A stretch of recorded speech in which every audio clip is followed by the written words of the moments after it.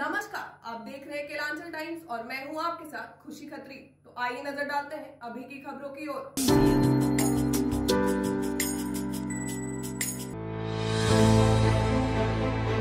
आज महिला विकास मंच के सदस्यों द्वारा श्रीमती सरिता शर्मा, मधुकम निवासी, जिनको अपने ही परिजनों द्वारा प्रताड़ित किया जा रहा था, एवं घर छोड़ने पर मजबूर कर दिया गया था, उनको नारी निकेतन आश्रम से लेकर वापस में सम्मान पूर्वक प्रवेश करवाया गया।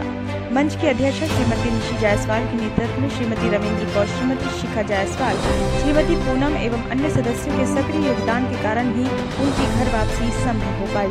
इसी क्रम में महिला विकास मंच का एक प्रतिनिधिमंडल, आरक्षी महानिरीक्षक महोदय ए के झा से मिला, जिसमें उन्होंने अपने स्तर से उचित कार्यवाही करने का आश्वासन दिया।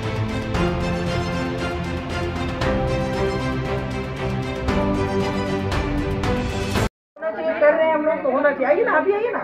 आप महिला विकास मंच में हमको ऐसे डर नहीं है कि मेरा नहीं कोई डरने का बात है ही नहीं। अगर आज आवाज़ नहीं तो है, आज आवाज़ नहीं नहीं ऐसे तो ये देखने में आ रहा है कि घरेलू घरेलू हिंसा का ये मामला है। लेकिन कैसे क्या हुआ था मैडम? आप आप आप जरा बताएँ। इन ये इनके हस्बैंड रहे नहीं। प्रॉपर्टी इनके नाम हुआ।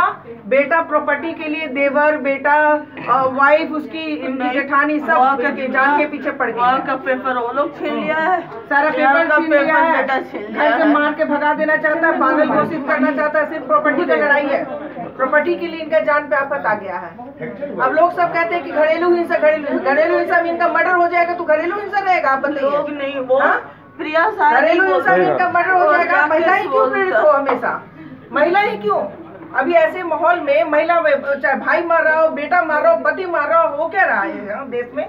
हमेशा महिला ही सहे दुख।